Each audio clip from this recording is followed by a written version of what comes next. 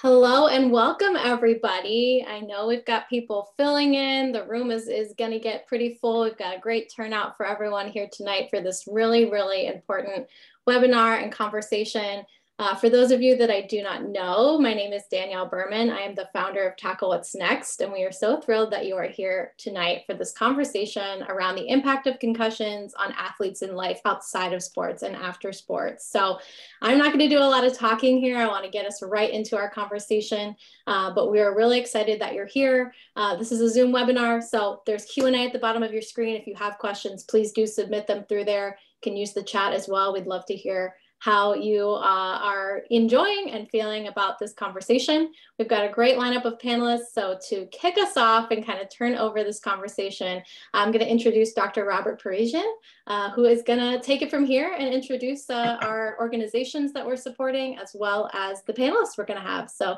thank you so much, Dr. Parisien, and uh, take it away. Thank you, Danielle, appreciate that. And good evening to everybody. Uh, thanks for joining us. Um, as Danielle mentioned, uh, my name is Robert Parisien. I'll be the moderator for tonight's discussion on the topic of uh, the impact of concussions on athletes in their life after sport. Uh, a bit of my background, I'm an orthopedic surgeon, uh, sports medicine surgeon at Mount Sinai in New York City. Uh, I serve as a team physician for US Ski and Snowboard, as well as USA Fencing. and I also provide sports medicine coverage for the NYC Marathon. Uh, with regards to my athletic background, briefly, um, I grew up playing uh, football, basketball, baseball. I ran track, skied competitively. Uh, I and then ended up completing my undergraduate studies at Brown, where I was a member of the Brown Bears football team uh, and was very fortunate to win an Ivy League championship in 1999. I'm also proud um, to be a board member of both Athlete Soul uh, and Concussion Legacy Foundation, uh, two of the supporting um, organizations here tonight for tonight's discussion. Now, before we get started here, I, I first want to thank um, Danielle Berman and her team at Tackle What's Next for organizing and hosting this, uh, this event and this discussion. Uh, Tackle What's Next is a premier community and support team for athletes transitioning from sport by recreating a sense of team and camaraderie for athletes uh, to really find their purpose in life after the game. So thank you, Danielle, to you and your team. So the two supporting organizations um, for tonight's uh, discussion uh, Athlete Soul and Concussion Legacy Foundation. I just want to share a, a bit about them. Um, Athlete Soul is a nonprofit organization that was founded um, by Myriam Glez, uh, a two-time uh, Olympic um, and uh, former CEO of USA Synchronized Swimming, who actually participated in four Olympic Games as an athlete, uh, a coach, and a team leader for four different countries. Um, so yeah, she is very impressive, and she's a force in the uh, in the sports world. Uh, the mission of Athlete Soul is to support athletes as they transition away from sports. Athlete Soul raises awareness about the challenges of athletic retirement and encourages athletes to develop beyond sports through educational resources, group and individual transition and career coaching, as well as networking uh, to support athletes before, during, and after their retirement from sports. Uh, Concussion Legacy Foundation was founded in uh, 2007 by Dr. Chris Nowinski and Dr. Robert Cantu, uh, the mission of Concussion Legacy Foundation is to support athletes, veterans, and all affected by concussion and chronic traumatic encephalopathy, also known as CTE. The Concussion Legacy Foundation works to achieve smarter sports and safer athletes through education and innovation and to end CTE through prevention and research. The Concussion Legacy Foundation provides personalized help to those struggling with the outcomes of brain research uh, ra- rather the outcomes of brain injury through the Concussion Legacy Foundation helpline. Uh, the helpline offers guidance on how to choose the right doctor, connections to peer support, and information about concussion symptoms and treatment options. So this partnership uh, really uh, was born out uh, as my involvement with Concussion Legacy Foundation uh, as a member of the board, also with Athlete Soul as a member of the board. And it just seemed that both organizations um, had um, very synchronized uh, interests uh, in athlete uh, health and wellness, and with and with athlete soul um, into transition uh, to life after sport, uh, which is a, a major aspect. So we are joined this evening by some very impressive, um, incredible panelists. I'd like to give them an introduction very briefly into their backgrounds, and then they can share a bit more of their of their personal stories. Um, so Kelly Conheeney is a former uh, pro soccer player uh, who now works as an account manager at Baller TV. Uh, she was a star soccer player at Virginia Tech from 2009 to 2013, where she set records for career points with 75, career game winning goals with 14, and tallied the most assists in a single season uh, with 12 while becoming the only player in school history to record 20 goals and 20 assists in her career. Following her collegiate, collegiate career, she played professionally with the USL uh, Women's League and the National Women's Soccer League, uh, finishing her career with the Houston Dash. Kelly is a member of Athletes Soul. Quentin Q. Williams. Uh, so Q is a men's coach um, for current and retired athletes and is a leading authority on male athlete wellness um, and is the founder of the World Class Method, uh, which he will tell us more about shortly. Q is also uh, the lead facilitator of the Beyond Sports program through Athlete Soul, designed to help athletes uh, learn about themselves beyond sport. So with Q's athletic background, Q is a two-sport athlete at Northwestern and a member of the Gator Bowl championship team of 2013. He holds a master's degree in sports management and serves as an official provider for the Pro Football Hall of Fame Health, uh, creating solutions for former NFL players who have struggled with, with the transition uh, from the game. Q is a member of both uh, Athlete Soul and uh, Concussion Legacy Foundation. Dr. Ciara Dockery uh, is a New York State licensed clinical psychologist and the director of the NFL Lifeline, uh, a free and confidential 24 7 emotional wellness and suicide prevention hotline available to the entire NFL community, administered by Vibrant Emotional Health. Dr. Dockery also oversees Vibrant Health's partnership with the NBA in the development and administration of their mind health uh, training initiatives. In her previous roles uh, at the New York State Office of Mental Health, she served uh, as the statewide coordinator on Project Liberty, which is a $132 million FEMA funded mental health outreach response to the events of 9 11. She also served as the first network development coordinator during the development and implementation of the National Suicide Prevention Lifeline. Dr. Dockery also serves on the NFL's Mental Health Advisory Board, the Family Advisory Board of the Harvard Football Players Health Study, the Concussion Legacy Foundation's New York City Advisory Board, and the advisory board for the CDC funded Mount Sinai Injury Control Research Center. As an athlete, Dr. Dockery is a former member of the squash team at Harvard University and was nationally ranked as the third best squash player in the country. Uh, I'm glad to have you all here. DJ Woodward uh, is a mother of four from Louisville, Kentucky, and earned a graduate degree in nursing from the University of Virginia. DJ's daughter, May, experienced five concussions and was recently diagnosed with post concussion syndrome and postural orthostatic tachycardia, also known as POTS. May was forced to retire from field hockey because of her injuries and is still in recovery. DJ is joining to share her experience as a caregiver for a child with concussion and to offer observations about what the experience of retiring from sports has been like uh, for May uh, herself and her family. So thank you to all the panelists for joining us. Uh, I think we should get started uh, and start hearing your stories. Um, and if Kelly, if you wouldn't mind uh, kicking us off. Yeah, thank you, Dr. Parisien. Um, it's an honor to be a part of this panel. Um, I really look up to the Concussion Legacy Foundation for all the work that you guys do. Uh, my first concussion, like you said, was in 2009. Um, excuse me, started, I started playing soccer in uh, 2009 in college, and my first concussion was in 2012. Um, I guess Dr. Parisien, you kind of gave the whole background, right, of, of my college experience. So I'll go from there and just say uh, the concussion that really ended my career. Um, I walked off the field in my sixth game. I didn't think it would be a career ending injury. Um, and I went up to my trainer and I said, I, I, I have a headache. I, I'm nauseous. Um, I need to go see a doctor. Like, this is not okay. Um, leading up to that point, I was going nonstop from my junior year, kind of with the mindset of I need to make the national team. Um, I can't stop playing soccer. This is the only option for me is to keep going. I was never really given an option to take a break. So um, the USL championship preceded my senior year preseason we went from spring of my junior year, um, drove all the way up to Canada, took four days to drive there, played every single day up to preseason of my senior year. Six games in, that's when my concussion happened. Um, and you know i had all the typical symptoms of concussion. It was really just off of a diving header. It was a really easy diving header that i usually take and get up and feel fine after that. Um, but this one you know I, I, came off the field and talked to my trainer. She brought me she brought me in took a look at me and she said we can't put you back on the field until your headaches go away. Um, and my headaches did not go away that year. I tried to come back and play a fifth year and my headaches did not subside. Um, every time I got on the field and you know did a did a did a fitness test, they would come back. And as the days and the really months went on, I was just kind of like losing more hope. So I never wore a Virginia Tech jersey again. Um, I thought soccer was done for me after college, and it was a really hard pill to swallow. Um, I dealt with a lot of mental symptoms like anxiety and depression that I had never dealt with before. Um, but, you know, I didn't really feel like I had a choice. I had to hang up the boots and, and call it quits.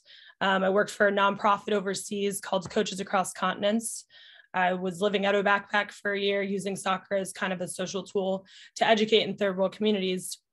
Um, and really took that time to just rest, completely rest. My head you know, was kind of feeling better than it ever has. Um, and then I went to see a doctor. So a year after um, I came back from, I was in Uganda, year back when I came back from Uganda, saw a doctor at uh, Pittsburgh Medical Center. And they said there's a treatment for concussions, which I never knew anything about. Um, so I took a four step approach. Um, I did vestibular therapy for, you know, like just spatial awareness. Um, I did ocular therapy. My eyes weren't working together at the time. So I got a pair of glasses and did a lot of eye training that helped me um, help my eyes work together. I did exertional therapy. So anytime I got on the treadmill and I reached a certain point where I would get a headache, I took a break and then it was kind of like two steps forward, one step back. This awesome program that they put together for me at Pittsburgh Medical Center that essentially got me back on the fields, able to train. So, three and a half years after I stepped off the field at Virginia Tech, um, I walked into an open tryout with Sky Blue. They're in the National Women's Soccer League. It's the pool of players that is the pool for the national team players. Um, and I made it onto Sky Blue in my open tryout. Um, and that was kind of beginning, beginning of my professional career. Um, I would say, you know, my professional career was three years long. I played in New Jersey, I played over in Houston, and then I ended my career over in Sweden. Um, you know, and I really, I really kind of had symptoms all throughout um, and was never able to really feel like I fully got back and was myself. And it was kind of at that point where I realized like, okay, this is, this is it. Now I'm like hanging up the boots for good. I'm done. Um, I don't know, you know, I, I haven't gotten the answers, right? This is back in 2011. 12 13 14 15 and then ended my career in 2018 so didn't have the answers then still don't have some of the answers now of you know really kind of what happened how that how it all you know accumulated to get me to that point where um where I, I couldn't play. I had headaches every day. I had all the symptoms. Um, but but that was the end of my career. Uh, so I moved out to California and kind of just started my life over and um, took a new step in a new direction and and and said goodbye to soccer for a while. Um, so here I am today. I'm in New Jersey. Um, moved home from California, I really feel better than I ever have. Like my my head feels amazing. I never really thought there would be another side of this and I never thought that I would not feel symptoms. There was a point in time where I was at a very low point where I where I was like this is how I'm going to feel for the rest of my life and I just have to deal with it because I was 3 years symptomatic, terribly symptomatic. Um but you know, this is like what I say to everybody is everybody has their own story with concussions, but also like there is another side of it, and there there is you do heal eventually if you take the right steps and um, and you have a great support system. So that's kind of the gist of my story. I mean, um, I know there's probably some more to it, and um, could get into it more more in depth, but um, yeah, I'll, I'll stick with that for now. yeah, thank you, Kelly. Yeah, I appreciate you sharing. I mean, every time I listen to you talk about uh, your story and and uh, your past with this, it's, uh, it's, it just goes to show how personal um, this is, and and truly how much of a journey it was for you. Um, You know, and uh, I think uh, we're all looking forward to sort of coming back to that during this discussion and, and getting a little bit deeper into it.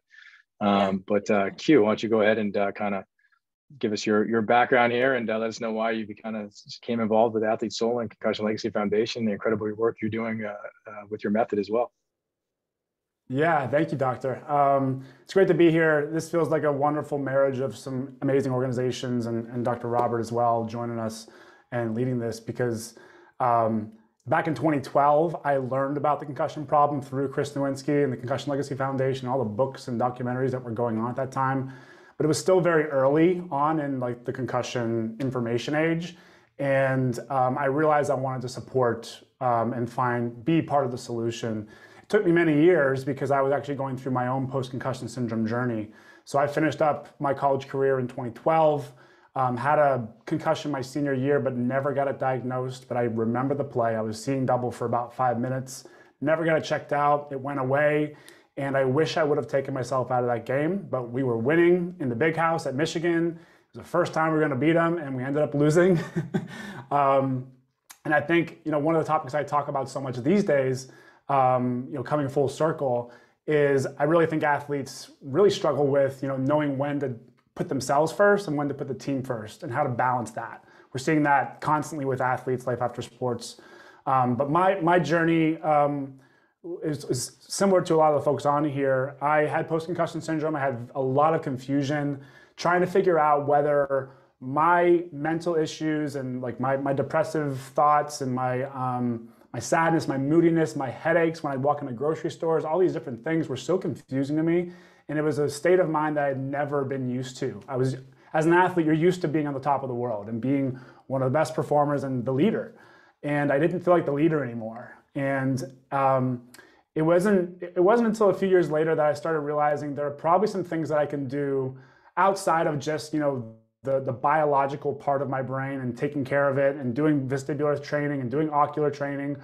What can I do that's to like light me up and make me feel back on fire again? And I started surrounding myself around other guys like myself um, that were in similar situations. I, I created community because um, I had been isolating myself trying to fight this on my own. So I surrounded myself in community. I surrounded myself around um, mindset tools and um, ways to think about life and ways to think about, you know, owning my purpose. Which you know, my purpose, like I said back in 2012, was being a part of the solution, and I was dragging my feet on that. But the really cool thing was once I really started taking ownership of that and really shifted my my frame of reference, um, things got a lot better. I, my symptoms almost went away. I still do struggle with post-concussion syndrome a little bit. Um, but you know, as many football players probably on here, maybe Dr. Parisien can relate. Um, you kind of always live with a bit of a headache, you know, as a football player, because you use your head so much and you're kind of used to, you know, going through practice with a headache. And so some of these symptoms can be confusing after sports, knowing whether it's just everyday life for a former football player or a, a regular person, or um, it's something worse, right? Um, and so my, my methodology, what I what I do today is for the last few years, I've I've been working with different organizations like CLF, Talk What's Next, Athlete Soul to provide programming for current and former athletes to really own their purpose. And I, I use something called the world class method, which you know is is a bit of a hodgepodge of everything I talked about. You know, the, the community, the sense of identity, uh, the sense of purpose beyond sport, and all those different facets. So uh, that's a bit about me, and I'm really happy to be here. Thanks, Q. I mean, such a great, uh, unique perspective that you have, and uh, incredible uh, way in which you figured out how to work in hodgepodge to a uh, concussion conversation here. So that's great. But um, no, thanks for sharing. I really appreciate that. Um, uh, Dr. Uh, Dockery, um, you have a, a unique perspective uh, as both an athlete here and then as someone who provides uh, a lot of support um, for athletes um, and families um, that are sort of going through this currently, that are transitioning away from it, have you know many questions and concerns. So, uh, if you wouldn't mind, uh, sort of sharing a little bit of your of your story. Sure, sure. Um, I love hearing all these stories, but yes, I will briefly give you a little bit of how I ended up um, involved in CLF and in this space at all. As you know, Dr. Parisien mentioned, I played a sport which was pretty safe for your head. Squash is a racket sport. And yeah, I never had a concussion. And really, I went into, you know, mental health as from my bio, really kind of after 9 11, and, and then kind of went into the suicide prevention space. And that's where I was sort of working when in 2012, when the NFL had a really tough year for suicide in former players. There were quite a few players, um, maybe the most well known at the time being Junior Seau, who all died by suicide, left notes regarding their brain health and donated their brains. Um, and at that point, I got sort of my two worlds collided in some ways because my dad also played in the NFL. So I had that sort of piece of this and actually had quite a few concussions himself um, during his playing days. But I, you know, came back to an organization that was running the National Suicide Prevention Lifeline that I had uh, worked for previously. And we started a suicide prevention program and really outreach program for uh, primarily former players transitioning out of the league. Um, and it has been, and I think we're going to touch on a lot of the topics about why that's a really vulnerable time. Certainly not just for NFL players, for athletes in general. Q was talking a little bit about this, but um, you know, we were trying to outreach to uh, men who a we're not used to asking for help certainly not around mental health issues uh, let alone potentially concussion related issues. That's another thing we teach athletes to sort of play through pain, right? But of course, as a psychologist and a, suicide prevention specialist, you know, chronic pain is a big risk factor for depression, for suicide, for hopelessness. So whether we're actually talking about the brain injury itself or we're talking about managing pain, that's then we're not even getting into what it means to kind of lose the sport. So, you know, there was a lot of issues. There's, um, you know, I think we're going to spend some time later talking about identity, and Q, you mentioned that too, but that's a big piece of this. And I can certainly, as like a clinical psychologist, talk about how important identity development is in adolescence, right? And all of you here who are like fantastic athletes, um, you know, are identified early, young, right, as being such. And so, so much of your identity development and who you are and the sense of who you are comes from that period of really like your huge athletic successes. So being an athlete becomes a huge just central to your identity. And that's something we kind of need to look at because then boom like one injury and it's gone uh, can have a huge ripple effect uh, for mental health. And uh, so there's a lot of you know i think things we're going to talk about. But for, so for the last eight years i have been running um, the NFL Lifeline and working with current and former players and their family members, caregivers of folks um, who struggle with various levels of you know mental health and head injury issues. So I'm happy to talk about all of those things here. Thanks. Great, thank you very much. Uh, and you know, as you said, I mean, we're, we're certainly going to dive deep into those topics because it, it it gets brought up all the time with regards to athletes and and transitioning to that aspect where you're an athletic person, maybe not an athlete in that sense anymore, and identity and community and purpose and and how do you uh, reconcile these things? And now for this conversation uh, with regards to uh, concussions and how that might be impacting that entire process for you. But uh, sort of before we dive uh, into that um, maybe the most valuable panelist here uh, would be dj woodward. We're so you know glad and, and lucky to have you join us tonight um, if you wouldn't mind, uh, please uh, sharing your uh, your story um, of your family. Sure. thank you so much for having me, and thank you, Quentin and Kelly, for sharing. It's it's really nice to hear um, somebody's perspective who's now on the other side and found their identity and their life outside of uh, their sport. My daughter May um, is only 15, and she got her first concussion in field hockey in fifth grade.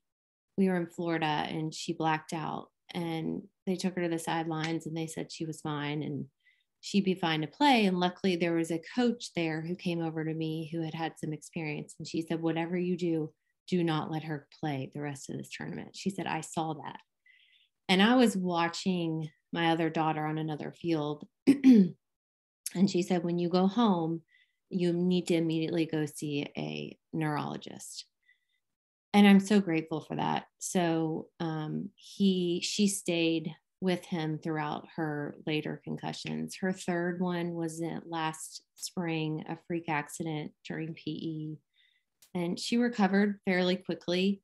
And then she got another one um, this fall playing field hockey. And she was told that she was out for six months which was hard at the time for her to take. She had made varsity as a freshman and um, on a competitive team, and she was already sort of being scouted by NCAA coaches and you know going to all the club stuff and had you know her identity and her vision was seeing herself as a college athlete So missing that whole freshman year, she had already, we were already working on our recruiting video and she was emailing coaches and um, but that whole time she was already dealing now what i know she was just keeping it inside but dealing with the what ifs if i get another one what am i going to do?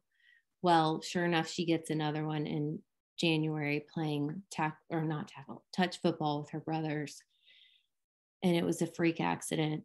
And after that um, she wanted to immediately go to the neurologist because she knew what he was going to say and he said you know it's really not smart for you to play anymore. So, you know, hindsight now, I'm so grateful that we did have him. I'm grateful that we went to him initially. Um, had we just gone to a pediatrician or, you know, some other family doctor, maybe they wouldn't have told us that. And so hopefully she will not end up having any terrible CTE or anything.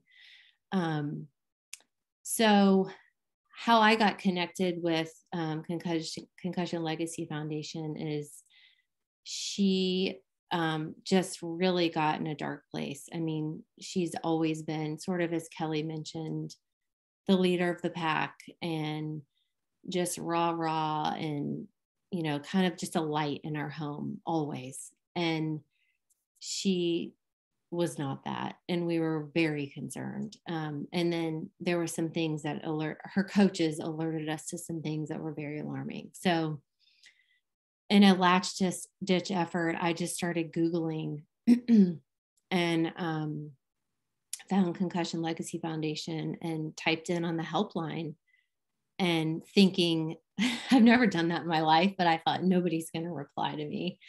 And um, sure enough, like two days later, I get a call from Chris and he leaves a voicemail and says, please call me. And so I'm sure we'll get into more details, but that's how I was connected. And I'm still in contact with him. He's helped us the last six months through a lot of things. So thanks for having me here.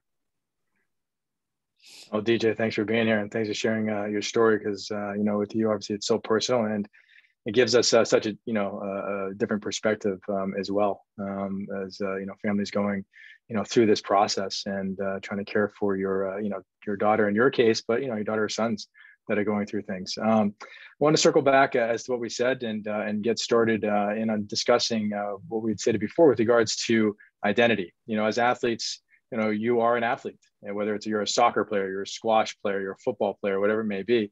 And that's probably how you describe yourself um, to your friends and and that's how you're known right? To your peers to your hometown. Um, and then certainly if you're playing at the at the greater levels uh, and you have that sense of community right? You have that community that culture that you know that you're comfortable with that um, that, that you've grown up with um, from youth athletics then you get into this phase of you know q you talked about it. You, you know you get your you get your bell rung you know is what we used to say right? And, and and and many athletes still probably say that. And what they don't know is a bell rung is probably a concussion. Um, and then the second bell rung is another one. Um, and so, uh, you know, how during your transition, I guess, Q and go to you first and then, and then Kelly, um, you know, how was that uh, with regards to, you know, your, your process and your transition in, in, into life after being an athlete, so your post athletic life, um, dealing with those things? Gosh, that, that's a whole rabbit hole of like sorting out my identity after sports. But what, what first thing I'll say, Robert, I'm glad you asked this question is, uh, really, you know, sometimes we think of identity as being like an internal thing, right? But it's such a interpersonal and social thing.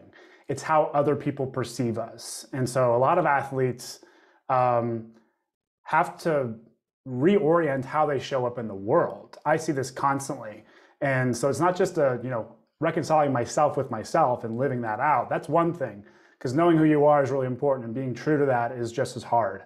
Um, but being true to that in the face of people that know you as an athlete or come to expect you to operate in certain ways, um, that can be tricky. And um, it, it, definitely has been for me. You know, my evolution um, as a man and, you know, taking on a new identity and starting a business and doing things outside of sports has not been easy. Um, it's, I've, I've come up against, you know, um, social pressures, right? Um, like being an entrepreneur and talking about this topic is not something that you know a lot of athletes talk about or a lot of my teammates want to talk about and so um, that's been a little bit lonely in its own right? Um, and so like you know formulating my own identity after sports it is really tricky. I talk to so many athletes that go through this um, whether they're clients of mine or former teammates of mine that are trying to find that tribe um, and trying to find community. I think it really starts with knowing who you are.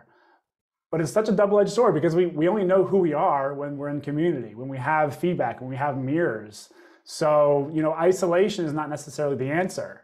Um, it's really going out there and trying things and, and, you know, throwing spaghetti at the wall and seeing what sticks, right?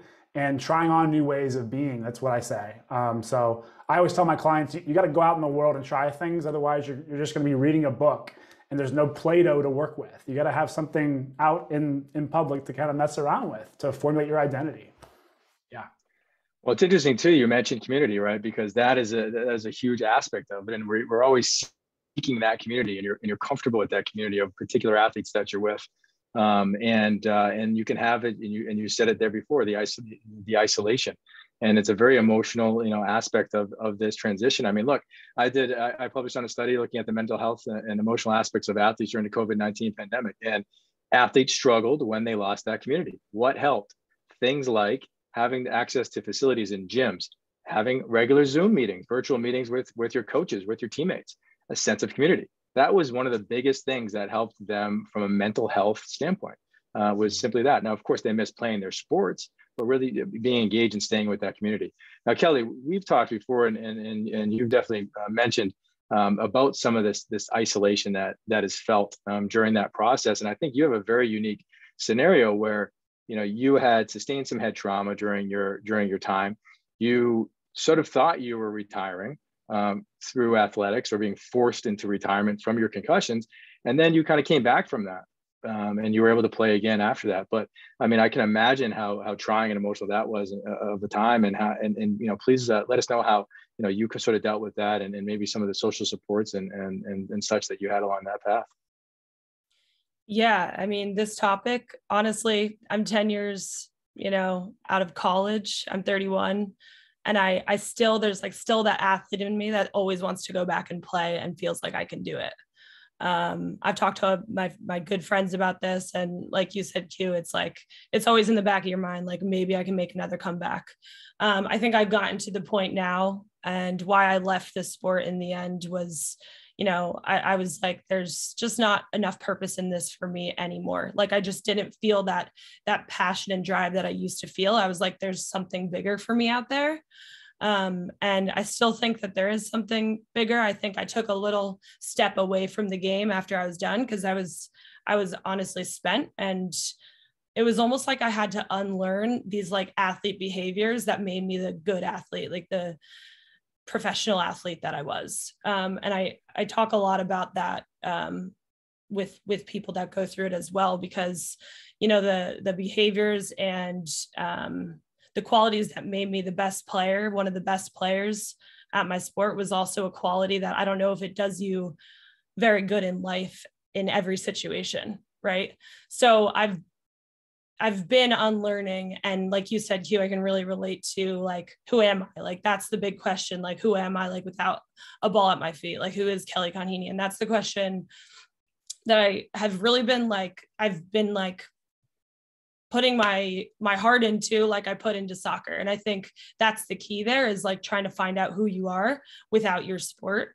Um, and for me, that's been a lot of also with the concussion came a lot of depression, a lot of anxiety, a lot of mental health that I've never faced before.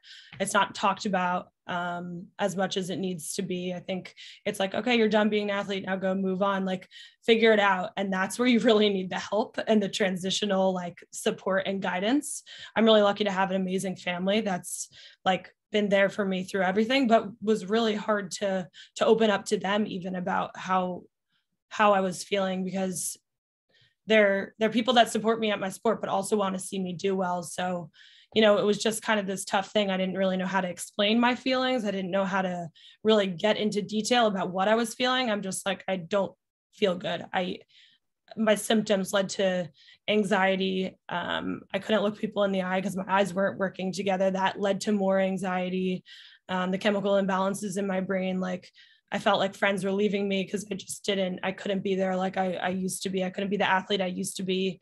Um, and and it's just like layer upon layer. But when it comes down to it, when you leave the sport, it's like this sport is a sport, but it's not the rest of your life. And you are an amazing person. That's what people love you for. They don't love you because you play a sport. It might feel like that your whole life, but yeah, I really just go back to kind of um, my identity, like post sport, unlearning that behavior of what made me the athlete that I was. And I'm kind of rebuilding that, keeping parts of what I was, but um, totally kind of clean slate. If I want to pick it up again and add that to you know the toolbox I, I can but if i want to leave it behind like that's that's my old kind of life and i have just kind of had tunnel vision of moving forward and trying to be more present and um and, and move forward with kind of you know this like healthier mindset of um of who i am yeah, I mean, obviously, that seems to be a common thread as, as, as we just discussed. You know, sort of that isolating feeling that you're having, and then you had it, you know, with regards to your,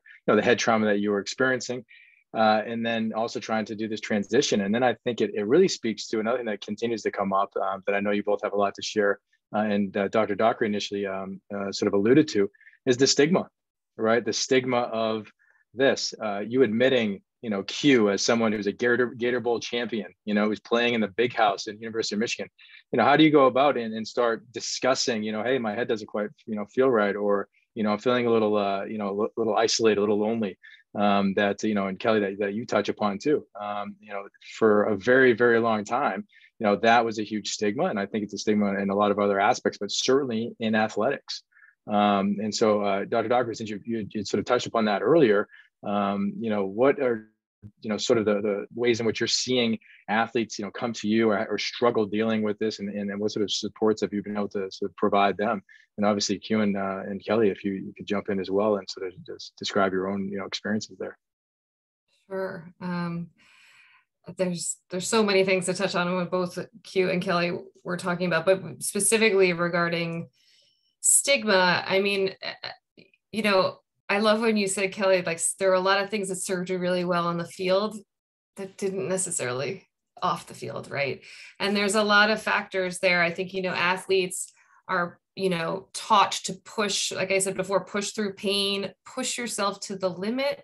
Um, you're taught to really in, eh, keep things internal, like any weakness, right, is seen, you know, any as like could be taken advantage of, you know, and so you're supposed to keep that inside. Um, and and not talk about these things. And then you know a lot of elite athletes a lot of athletes in general are really quite sort of perfectionistic in a lot of ways which can be helpful in practice but is also not so helpful in life at times. It can really lead to um, it is you know it is can lead to depression really in terms of never kind of feeling okay um, with where you are and that yardstick always moving and you never kind of feeling like you're you're good. Um, but, you know, because of all of those things, there's a huge amount of pressure for athletes to present well, right? Especially Q, you alluded to this sort of community, right, that looks up to you when you're an athlete. Um, and so for them too, there's pressure coming from them to sort of present well all the time. And that's a really isolating experience. Um, so you have all of these factors um, sort of converging to create a situation of real isolation. So you know, we know with stigma, say uh, whether it's about mental health, whether it's about talking about concussion, um, but we know the way we uh, like change stigma in a culture is to get people talking about their experience openly. And, and you know, at Q, you talk about how hard that's been. Like, thank you, thank you for like other men who where there's huge amount of pressure to not talk about these things. Kelly, thank you for for sharing your journey, particularly Kelly, like the part of your journey where you talk about how you didn't even realize there could be life beyond, that you could recover, that you could have a life without that pain, right? Because you know, if there's anybody listening here who is struggling with these these types of issues, it's so important to hear the full journey not just the like struggle oh i can identify with that or i feel i also feel really alone but how you got out of that and that you can get out of that and that athletes do come through this transition and they do even if they have a, a you know a, an injury that ends their sport entirely that they can create a life beyond that and an identity beyond that. If there's parents listening, this is the last thing I'll say on this topic. Like if there's parents listening, you know, start these conversations much, much earlier. You know, that's I think our problem. Um, and start them with boys. You know, I think we we tend to talk with girls a little bit more about whether it be mental health issues, but we got to be talking this uh, across the board, talking about these things earlier, and then also talking to your kid about all the parts of themselves earlier you know so helping them value different aspects of themselves beyond what's serving them really well on the field. Maybe that's you know kindness. Maybe that's you know they're great at math or who knows what it will be but start pointing out and, and they're getting a ton of praise for like an amazing athlete but but make sure they see their feel full sort of humanity and who they are entirely so that it just doesn't become so narrowed because um, that will happen over time and that can help a little bit with that identity uh, piece. But events like this, thank you to all of our hosts. Like this really helps with stigma. Like let's be talking about this a lot. Yeah, I hope you don't mind. I'd love to add on to that. I, I love what you said, Doctor, um, because so when it comes to the stigma, um, yes, you're right. Like events like this, talking about this, having you know open conversations and dialogue um, about our experience. I think especially as men, that's why I focus on men because men are the, the least likely to actually seek out the support, and sometimes they just need a tap on the shoulder and invite um, in order to even say maybe. And so um, one of the things that I do, I lead um, a lot of men's containers. Like what, what I mean by containers is like a, a confidential um, space, whether virtually or in person, that was the number one thing that really helped kickstart me about five years ago was sitting in a men's group um, around other guys kind of like a, a, locker room but not actually like no sports no beer you know? It was just like life. And it wasn't just concussions it was just life you know? Um, and that really fueled my evolution and my you know my coming of age really like my, my me stepping into my manhood. And i would think i say like um, one of the things we focus on primarily um, in those groups is actually emotional awareness. And you know, especially going through post-concussion syndrome um, and being you know potential CTE candidate, like emotionality, moodiness is so common. Um, depression, anxiety, all these things are so common.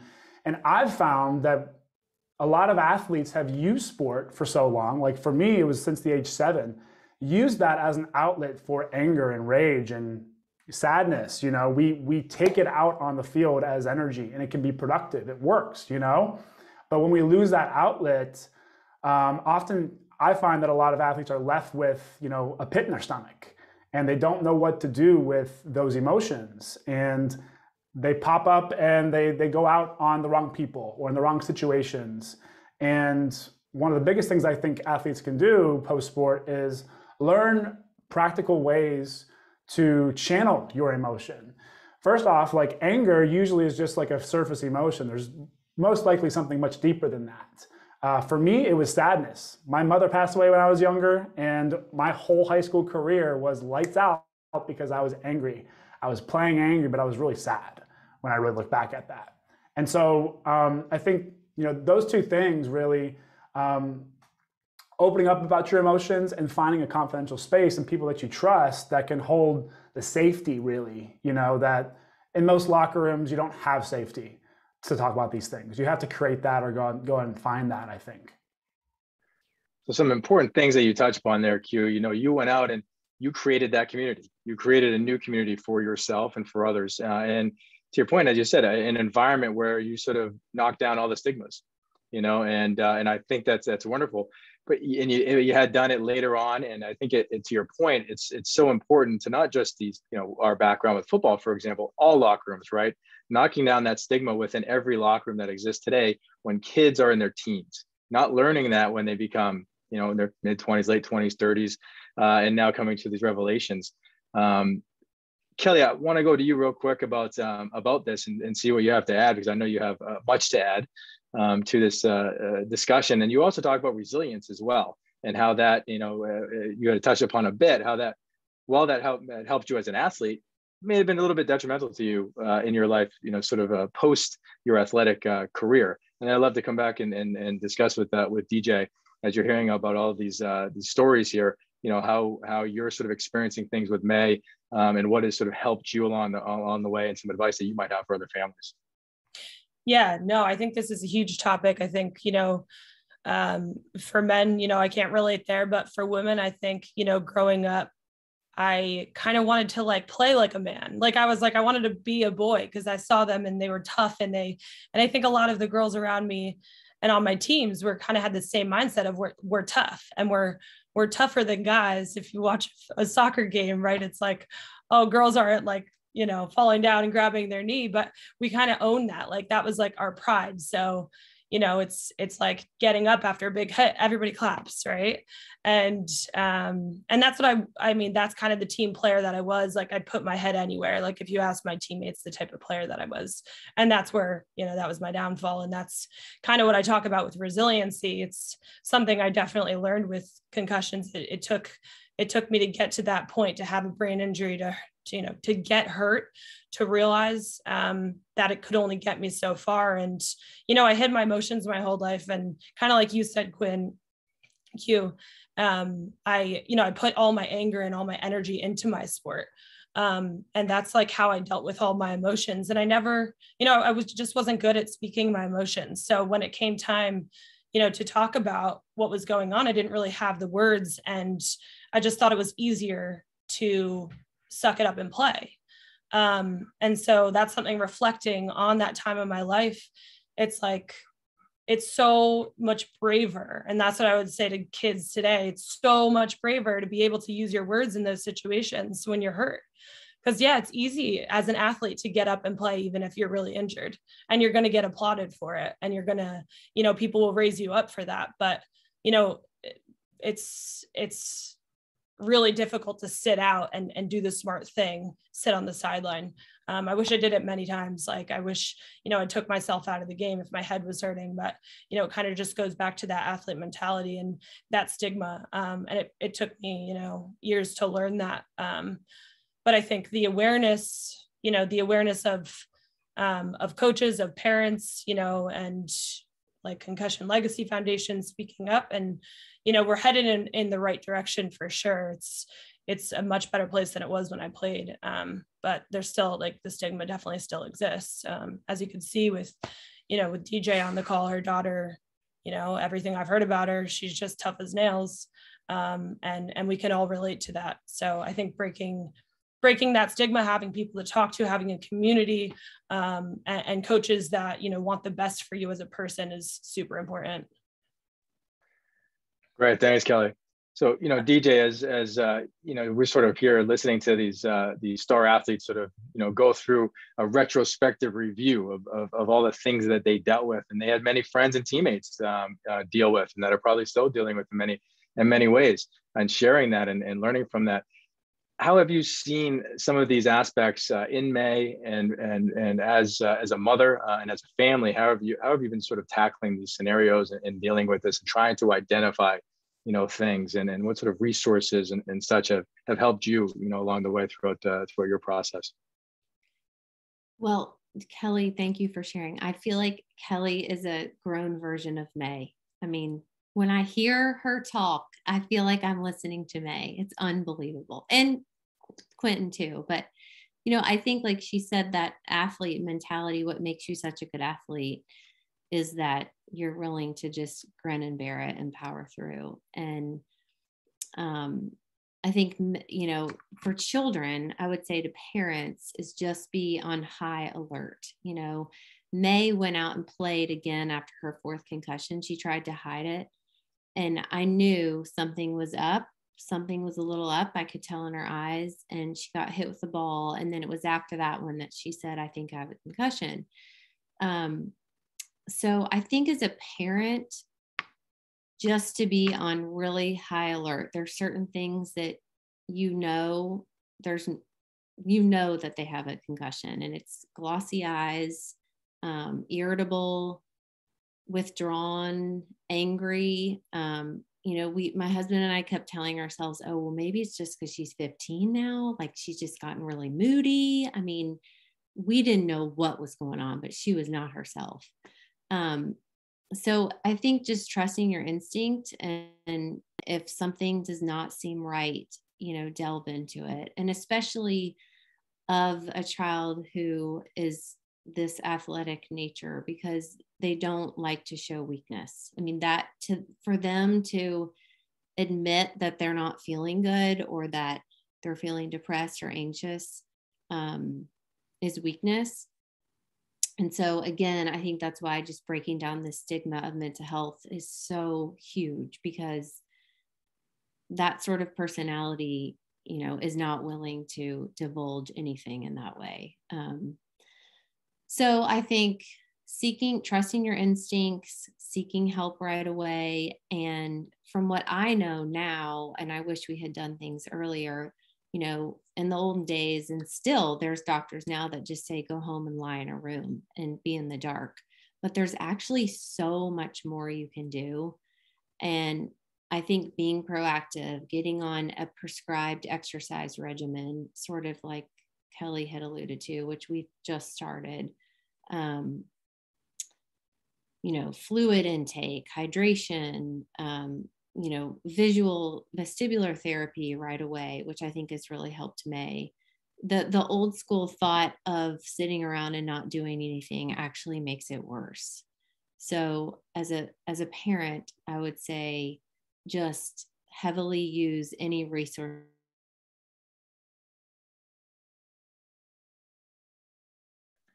I think we may have uh, lost uh, DJ real quick. DJ, you're back?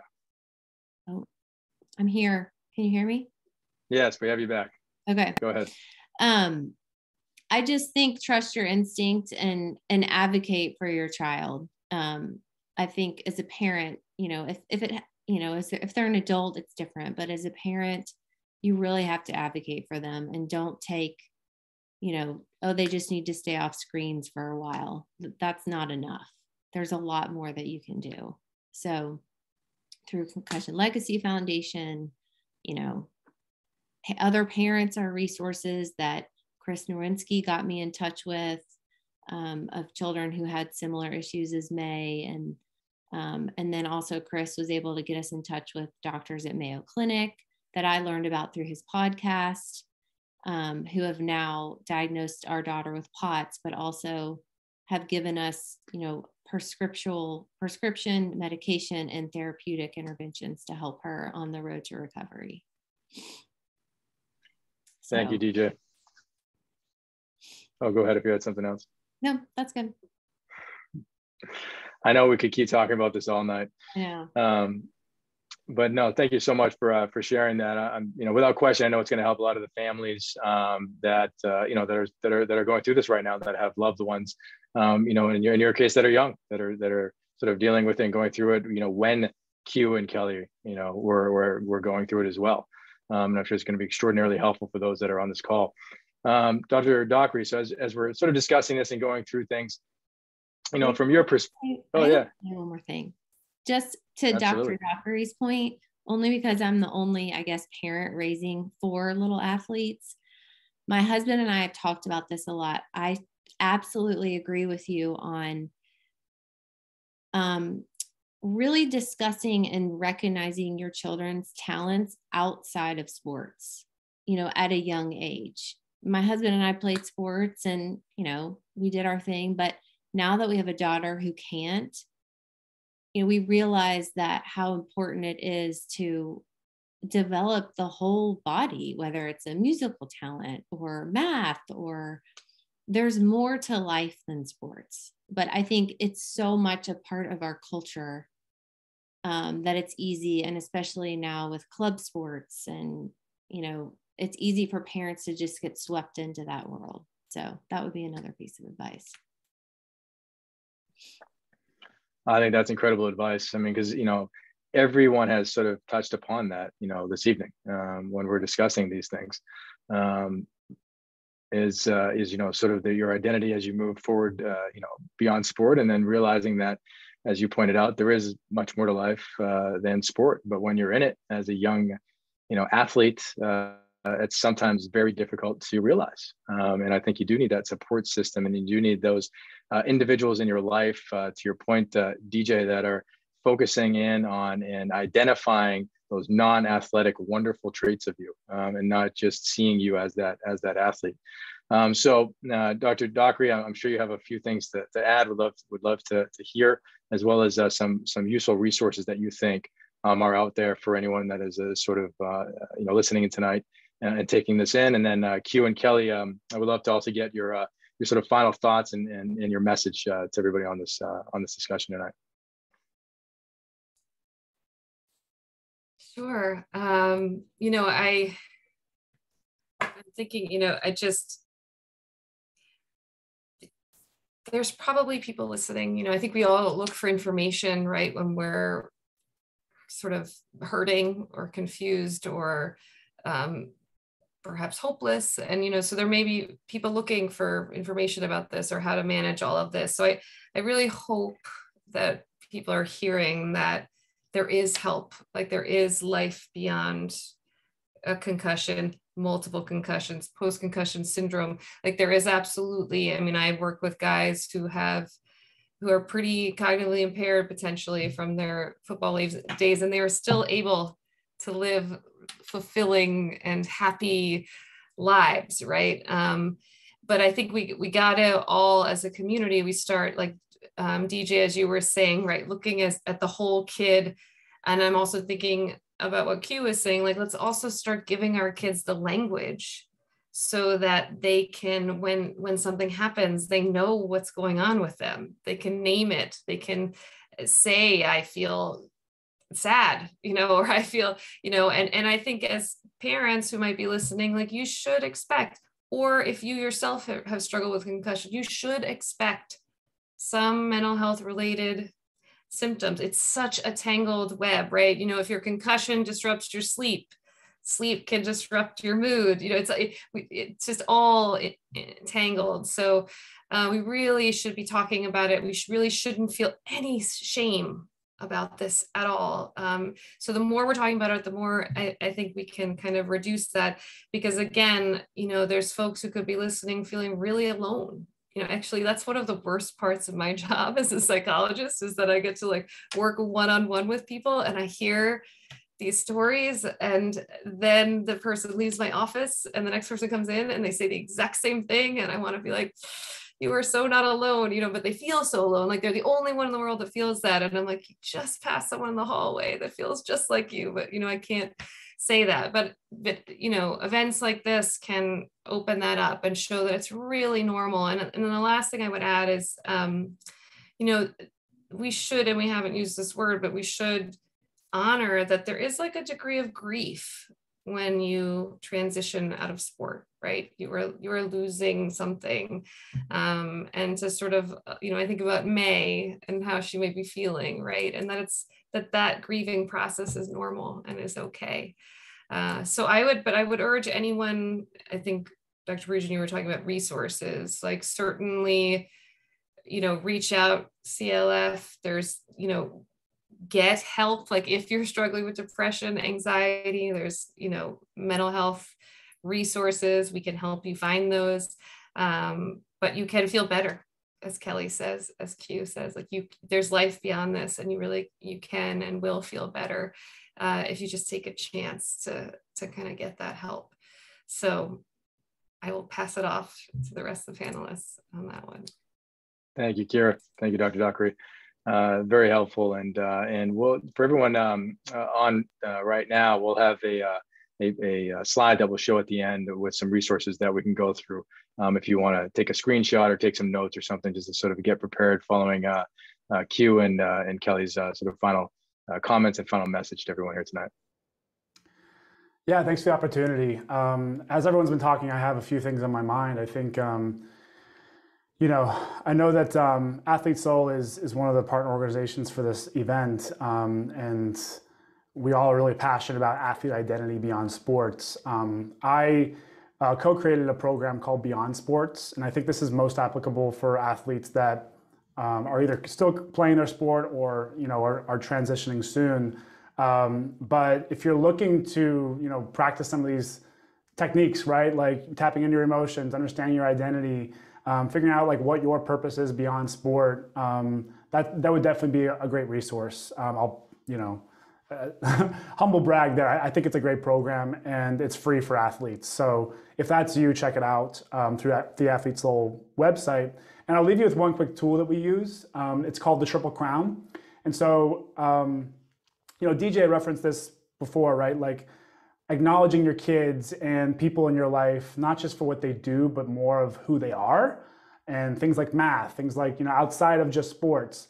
But I, I take that a step further. I, I like to help athletes notice like how they would describe themselves in three words and use adjectives. Don't use nouns. Don't say I'm a CEO or I'm an account manager or I'm a former athlete or right. Like use descriptors. Um, for me, I can tell you what mine are. I'm joyful, adventurous, and responsible. And when I live by those three things, that triple crown, that helps me live a life on purpose. It helps me go anywhere, including football and baseball, right? But it also helps me be, you know, a, a good friend, a good brother, um, a good son, um, a powerful leader, right? When I focus on those three things that have always been with me and that I've always been honing no matter what I do, that's when I find success really. So um, I just want to leave people with that idea of like a triple crown, like three words, you know, simplify it and focus on what you bring as value.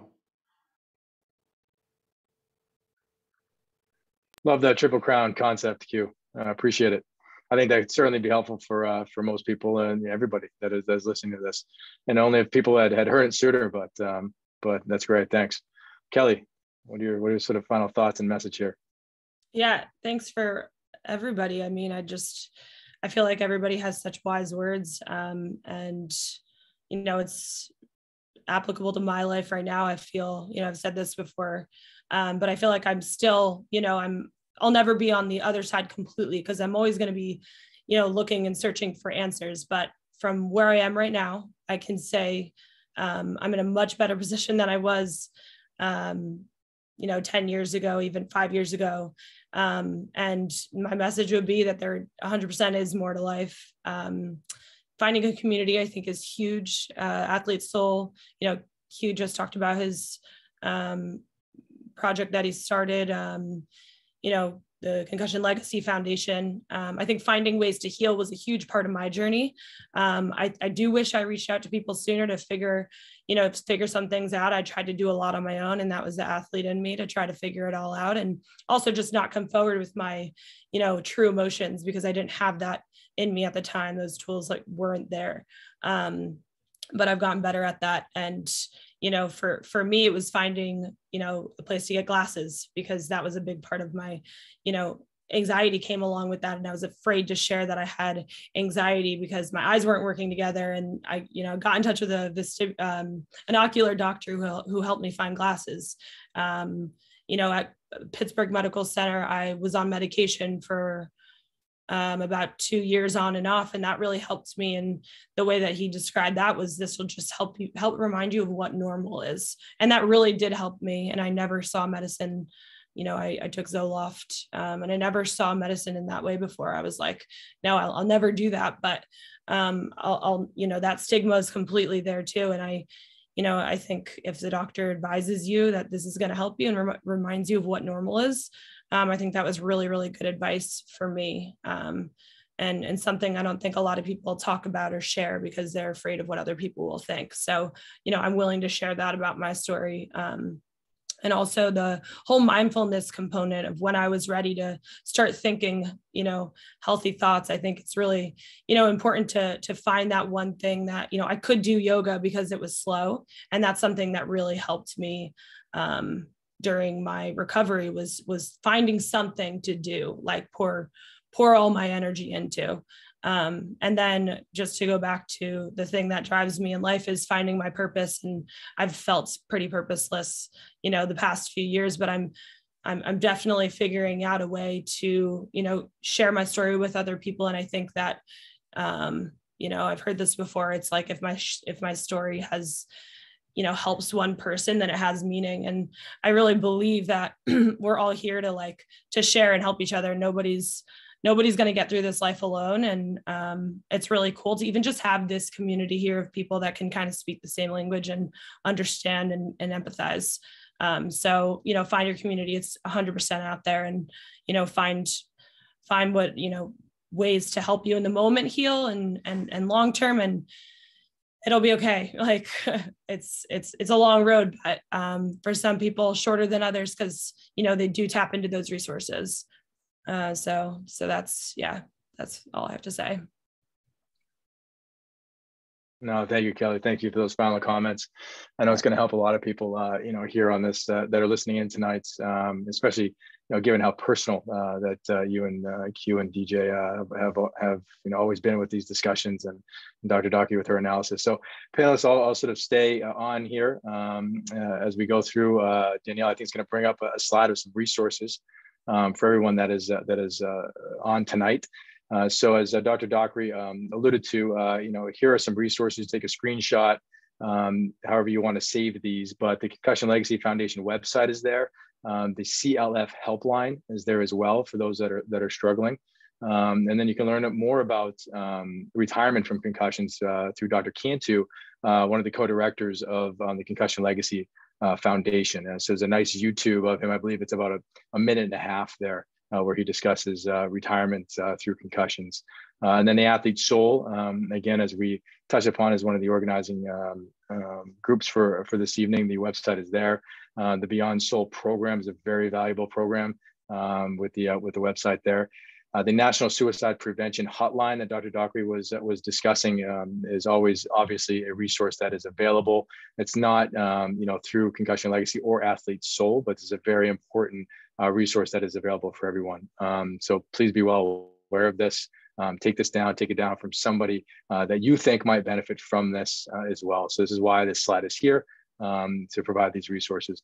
And then Tackle What's Next um, website here, and then the newsletter for Tackle What's Next. So again, I just want to thank all the panelists um, for joining tonight, for getting personal, uh, sharing your stories, um, and, uh, and really discussing uh, an incredibly important topic, battling the stigma of, uh, of uh, retirement uh, from your athletic life, um, the stigma of living with concussions, moving on from concussions, and the, and the sense of community. So thank you to, to Q. thanks, Kelly. Thanks, Dr. Dockery and, and DJ. Very, very um, valuable um, and helpful and, uh, and wonderful that you were able to join us uh, tonight. And finally, thanks again to Tackle What's Next and Daniel Berman and your team for, for organizing and of course athlete soul and concussion legacy foundation for everything that they have done and continue to do and, and will continue to do moving moving into the future. So and thank you for everyone for uh, for joining us tonight and uh, allowing us to sort of have this discussion with you uh, on wednesday. I hope you have a great evening. Thank you.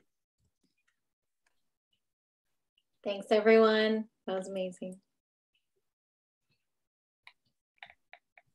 Are we on mute